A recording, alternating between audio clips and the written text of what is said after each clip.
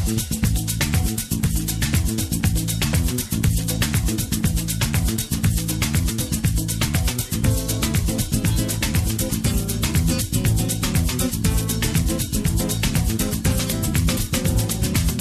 का इवेंट हमारा cook for smile की जो सीरीज़ है हमने क्रिएट की हुई है काफ़ी साल से चल रही है। उसी का एक चैप्टर है। Eight part of the series है।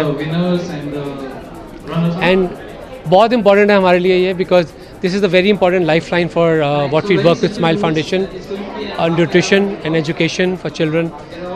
And I think being a global ambassador for Smile Foundation for these two major causes, and I feel very proud that we continue to do this.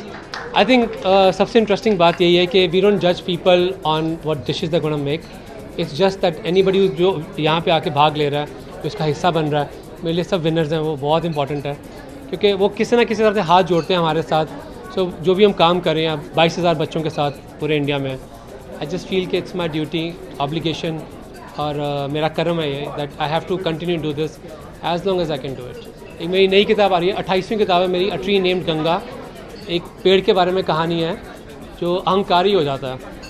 It's a good story बच्चों को बताने के लिए कि जिसके पास सब कुछ है अगर वो अहंकारी हो जाए और उसके पास जो सब कुछ है जितनी इतनी बरकत है वो लोगों की वजह से है फ्रेंड्स हों मदर्स हों पेरेंट्स हों मैं उसमें रूट्स को रेफ़र करता हूँ बार बार जो हमारे पेरेंट्स की रूट है जो पेरेंट्स दिखते नहीं हमको क्योंकि बच्चे इतने बड़े हो जाते हैं पेरेंट्स दिखने बंद हो जाते हैं।